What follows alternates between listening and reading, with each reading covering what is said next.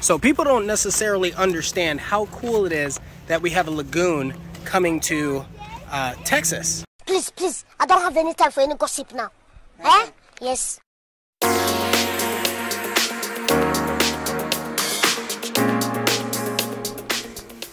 Okay, it's such a big deal to understand how a project like this can impact an area. And I have people moving to Austin all the time and they'll ask me, where should I move? Should I move to Round Rock, Cedar Park, Leander, Liberty Hill, Georgetown, or Buda, Kyle, or Austin, or Del Valle, or it doesn't even matter, Pflugerville. I hear all these places all the time.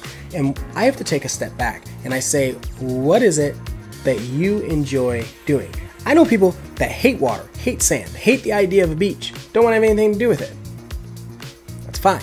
Uh, that's not me. I like spending a lot of time outside. So a project like this, what it does is it not only brings um, uh, community and sometimes it enhances the area around it in the sense that the property values may go up. There might be taxes to ensue as well, but uh, transportation, it becomes a hub for transportation, just like the Kalahari that was dropped in Round Rock, which is the America, America's largest indoor water park. And so now you have this uh, Crystal Lagoon or Crystal Springs Lagoon in Leander, which is incredible. I think it's an incredible opportunity for Leander to do something really, really cool. And if you haven't seen it, we're going to have to look through it. So, the city of Leander decided that they want to spend $1 billion on a project, and it's essentially bringing a beach into the middle of Texas. And listen, I'm not saying there's nothing in Leander, but there's when you compare it to some of these other places, there isn't a whole lot. Like they're just now building their first big HEB, first HEB at all, first HEB. And for those of you who aren't from around here, HEB is basically uh, it's basically heaven that sells groceries. No, it's it's a it's a grocery store that is like the grocery store in Texas. If you and I'm sorry for Randall's and anyone else out there, but uh, if you move to Texas and you go to HEB, it changes your perspective on what a grocery store should be. Most people. So yeah, a billion dollars, 78 acres, and uh, four acres of it is just the water, the beachfront, right? So it's almost like an oasis in the middle of the desert, right? I'm not saying it's the desert, but you have a few months in Texas.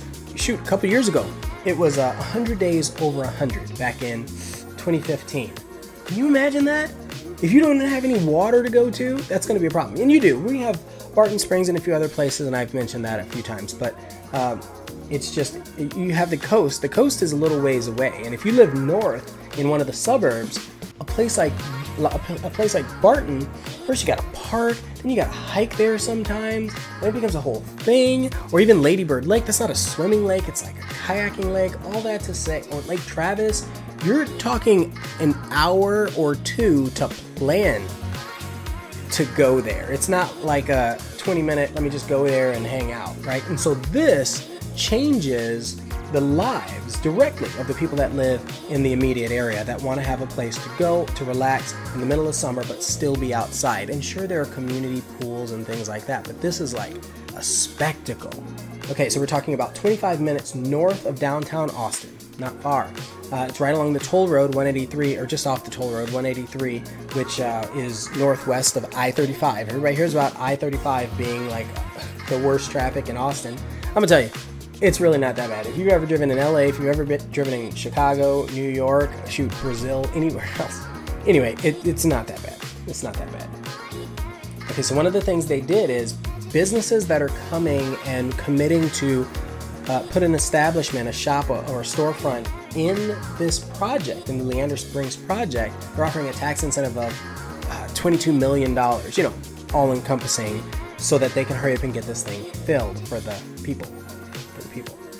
And now, uh, it takes a little bit of time to build this thing, right? They're, like I said, dropping a beach in the middle of, not nowhere, but they're, they're just, they're, there's a man made beach. Uh, so it's going to take until 2023 before they open their first shops. Now, I'm not sure if the, the lagoon itself is going to be complete by then, but if it is, man, that would be so cool. I can't wait. I can't wait to go. So they're trying to build it like the Domain or Mueller and these other like live, work, play districts. And I was in San Antonio a couple days ago with uh, Tim Macy, Jeremy Knight, and Trey Serrano, and um, they were showing me the Pearl District in San Antonio, and I was like, yeah, this is this is like our domain. This is like our Mueller, uh, or even our downtown, or Sixth Street, or Rainey Street, or one of those types of places where everybody just kind of goes and everything's so walkable and it's the cool place to be. And so that that is what this is going to become. They're going to have places for you to live right? They're going to have little office complexes, and then they're going to have the shops, and then they're going to have the entertainment. And so I can imagine there being concerts out there. There's just so much potential, so much opportunity for live music. Right, right. We know that that's a big thing here in Austin. We know that food is a big thing here in Austin. We know that jobs are a big thing, and so all of them are going to culminate in this one place called Crystal Springs. Well, called the Leander Lagoon uh, or Crystal Springs Lagoon. It doesn't matter what it's called. Just put all those words together in Google and you'll end up finding it. Crystal Springs Leander Lagoon. Yeah. And then don't forget who told you about it.